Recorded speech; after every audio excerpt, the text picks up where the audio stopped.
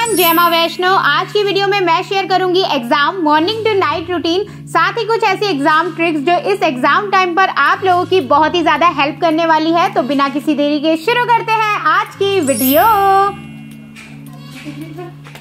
मैं तो आप लोगों को सजेस्ट करूँगी कि एग्ज़ाम के टाइम पर आप अच्छे से अपनी नींद पूरी कर कर ही उठिए। क्योंकि एग्ज़ाम टाइम पर ना हमारे दिमाग में बहुत ज़्यादा प्रेशर होता है तो अच्छे से हमारी नींद का पूरा होना और हमारे माइंड को रेस्ट मिलना इंपॉर्टेंट है। जब मेरे एग्ज़ाम हुआ करते थे ना तो मैं तो अपनी स्कूल टाइमिंग से एक या डेढ़ घंटा पहले उठ जाया करती थी, ताकि अच्छे से मैं सुबह सिलेबस भी रिवाइज कर लूँ और अपने सुबह के सारे काम भी कंप्लीट कर लूँ। सुबह जल्दी उठकर बाहर की फ्रेश एयर लेना भी सर्दियों में और भी ज़्यादा इंपॉर्टेंट हो जाता है, क्योंकि सर्दियों में हम बाहर निकलना प्रेफर नहीं करते और हमेशा बिस्तर में ही पड़े रहते हैं, जिस वजह से हमारे अंदर डिप्रेस्ड और अनहैप्पी हार्मोन्स जनरेट होने के चांसेस रहते हैं। इसलिए जितना हो सके बाहर की फ्रेश एयर लीजिए सनलाइट लीजिए, ताकि आपका मूड हमेशा हैप्पी हैप्पी रहे।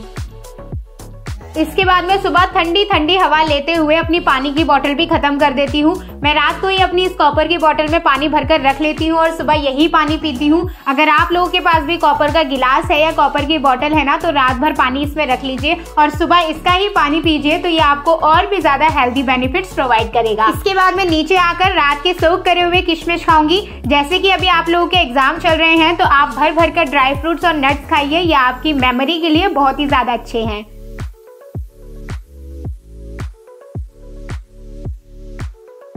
अब हम पाँच से दस मिनट अपना मेडिटेशन सेशन करेंगे ताकि हमने जो भी चीज़ें पढ़ी है, वो अच्छे से हमें मेमोराइज रहे और हम अच्छे से अपना पेपर कर सकें। ज़्यादा एक्सरसाइज करने का तो हमारे पास समय है नहीं क्योंकि अभी हमें अपने एग्ज़ाम का भी रिविजन करना है, इसलिए सिर्फ़ मेडिटेशन ही करेंगे। अपने मेडिटेशन को और भी पावरफुल बनाने के लिए ना, आजकल मैंने एक ट्रिक सीखी है तो आप लोगों को भी बताती हूँ। आप जब भी मेडिटेशन करने के लिए बैठे ना तो अपने पास एक गिलास पानी खोल कर रख दीजिए और इसके बाद ओम नाम का उच्चारण करिए।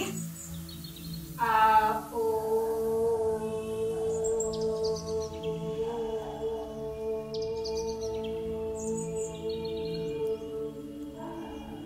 ओम नाम का उच्चारण करने से आपकी कंसंट्रेशन पावर तो बढ़ती ही है। साथ ही ना, आपके आसपास एक पॉजिटिव वाइब्रेशन क्रिएट हो जाती है और वो सारी वाइब्रेशन फिर आपके पानी के गिलास में चली जाती है। इसके बाद आप उस पानी को पी लीजिए। इससे वो सारी वाइब्रेशन वापस से आपके अंदर चली जाएगी और आप पूरे टाइम पॉजिटिव रहेंगे। अब इसके बाद फ्रेशन अप होकर ब्रश वगैरह करके हम आज के एग्ज़ाम की रिविजन करेंगे। मेरे साथ तो बड़ा गलत फंडा है कि मैं खाली पेट कुछ भी नहीं कर सकती, चाहे वो घर का काम हो या पढ़ाई हो। तो मैंने एक गिलास दूध ले लिया है, साथ में पाली जी ले लिया है तो अब मैं इसको खाऊँगी और इसके बाद हम अपने आज के एग्ज़ाम की रिविजन करेंगे।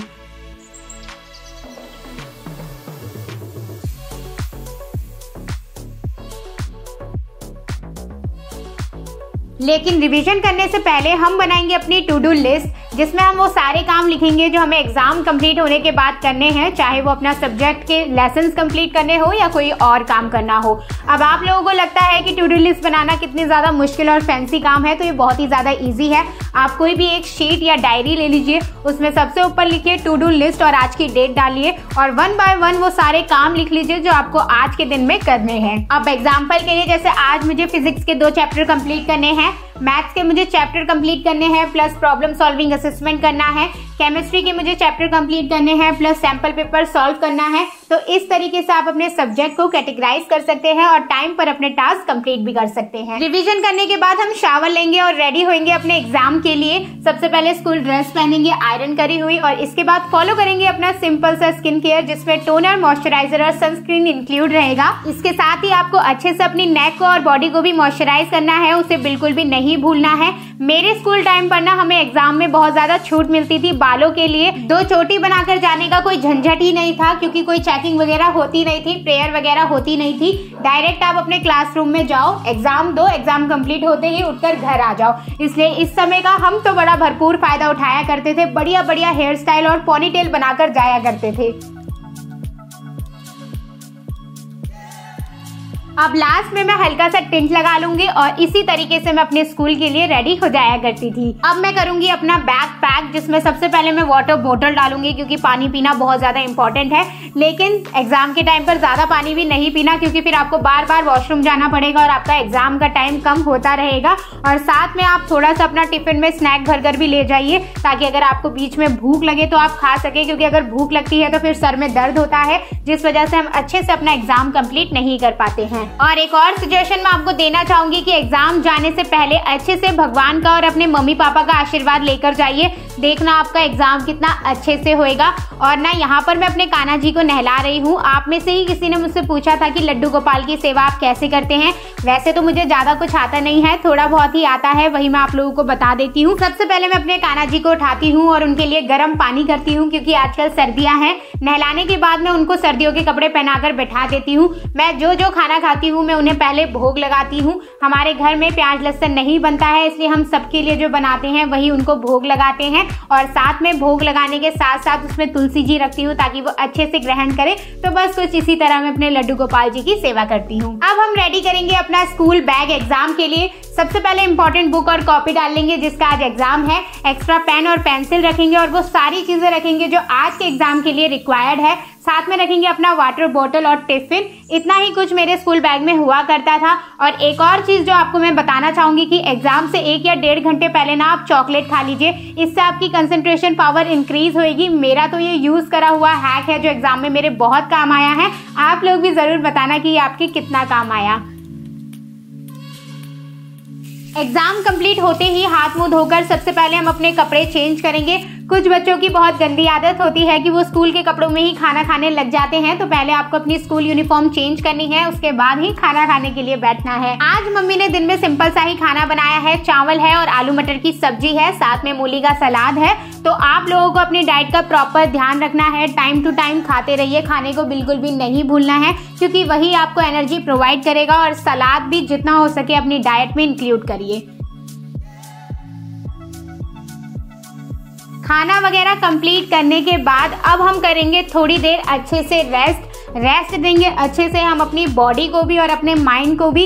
इस बीच अगर आपको फ़ोन चलाना है, बाहर खेलने जाना है, दोस्तों से बात करनी है टीवी देखनी है तो वो आप कर सकते हैं, लेकिन थोड़ी देर आपको सोना भी है ताकि अच्छे से आपके बॉडी को रिलैक्समेंट मिले और आप नेक्स्ट एग्ज़ाम की अच्छे से प्रिपरेशन कर सकें।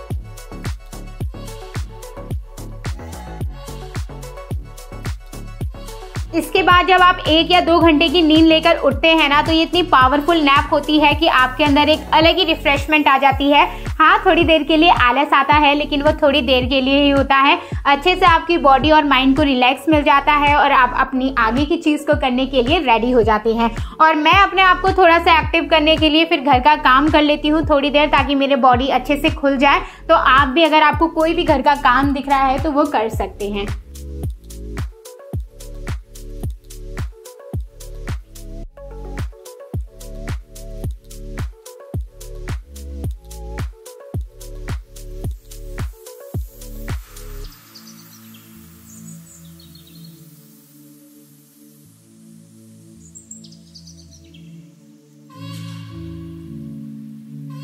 अब इसके बाद मैं बनाऊँगी अपने लिए कॉफ़ी, क्योंकि सोकर उठने के बाद मुझे बहुत जोरदार भूख लगती है और कॉफ़ी और नमकीन से अच्छा स्नैक क्या ही हो सकता है। अगर आप चाय पीते हैं तो आप चाय भी ले सकते हैं। अब इसको खाएँगे और इसके बाद हम अपने नेक्स्ट एग्ज़ाम की तैयारी करेंगे।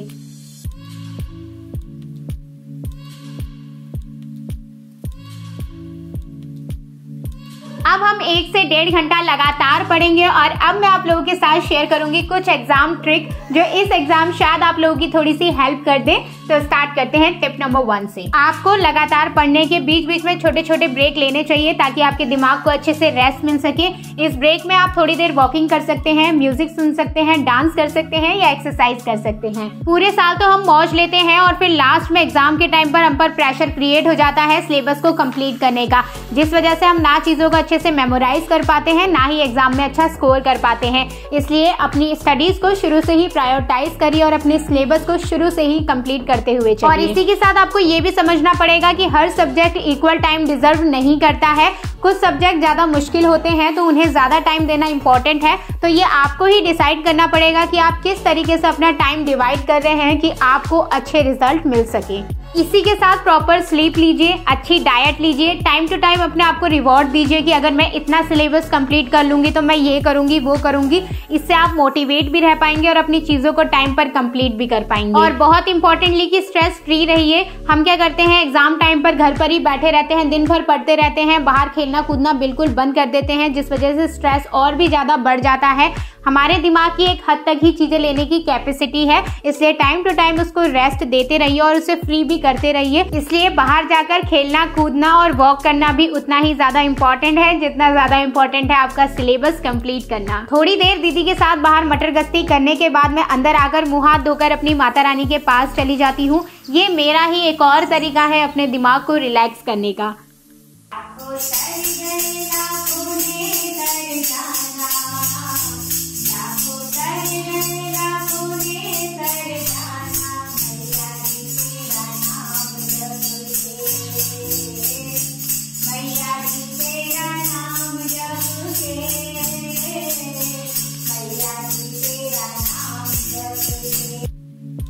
और आज ही ना हमारे जानते का कोई वैष्णो देवी गया हुआ था तो हमारे लिए प्रसाद लेकर आया था। तो यहाँ पर वही मैं माता रानी और सारे भगवान जी को दे रही हूँ और इसके बाद हम भी उसको खा लेंगे।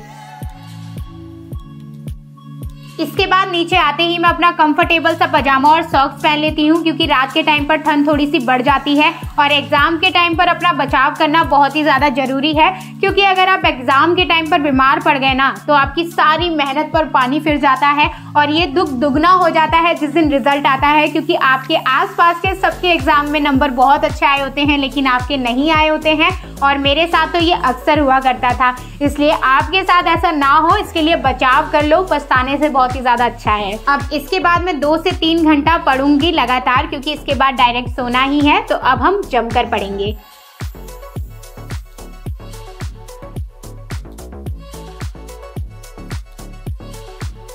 दिल है छोटा सा छोटी सी आशा, मस्ती भर मन की भोली सी आशा, चाँद तारों को छूने की आशा आसमानों में उड़ने की आशा।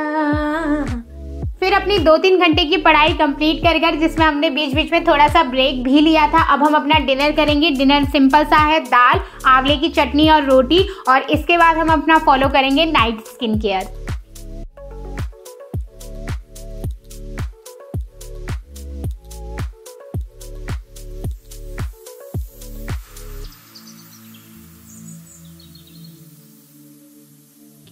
कितनी ज़्यादा धुंध हो रही है। ब्रश करके, अच्छे से अपनी स्किन को मॉइस्चराइज करके और ब्रेड बनाकर मेरे नाइट रिचुअल्स भी कंप्लीट हो जाते हैं। इसके बाद अब हम एक गिलास गरम गरम दूध पियेंगे। कल का अपना अलार्म सेट करेंगे। भगवान जी को थैंक यू करेंगे और स्ट्रेस फ्री सो जाएँगे। तो यहीं पर ही आज का रूटीन कंप्लीट होता है। ये एक एग्ज़ाम्पल था कि कैसे आप अपने एग्ज़ाम टाइम पर अपने रूटीन को सेट करते हैं, जैसे मैं किया करती थी। इसमें टाइम ऊपर नीचे, चाहे आपकी स्टडी का हो या कोई भी चीज़ का टाइम हो, उसे ऊपर नीचे आप अपने हिसाब से कर सकते हैं। तो आई होप ये वीडियो कहीं ना कहीं आप लोगों के लिए हेल्पफुल रही हो। वीडियो अच्छी लगी हो तो वीडियो को लाइक कर देना। चैनल को सब्सक्राइब कर देना। मैं मिलती हूँ आप सबसे बहुत जल्द एक नई यूजफुल वीडियो में। तब तक अपना ध्यान रखना। Okay bye